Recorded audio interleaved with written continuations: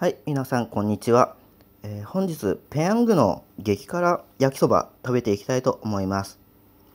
えー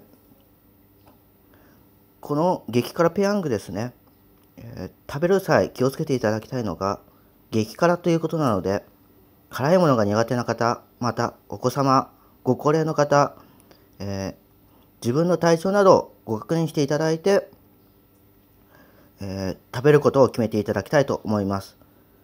えー辛かったことにより体調不良など保証ができませんので、その点ご注意ください。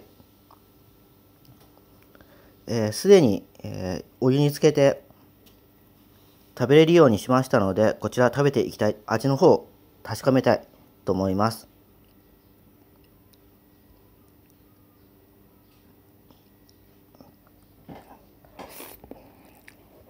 うん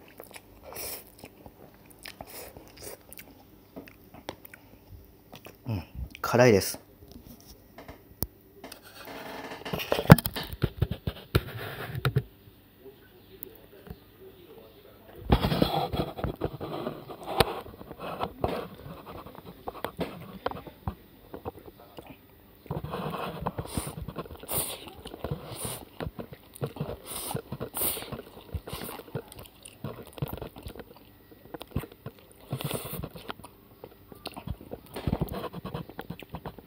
えー食べた際の感触としましては、えー口全体すごい辛いです。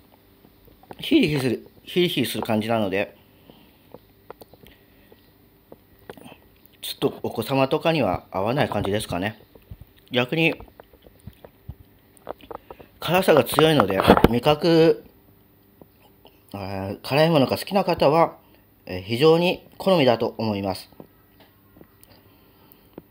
ただ水はちょっと必要かな、これは。以上、激辛の、えーペヤングの実食の方、終了、えー動画の方は終了したいと思います。この後私がしっかり食べさせていただきたいと思います。では、失礼いたします。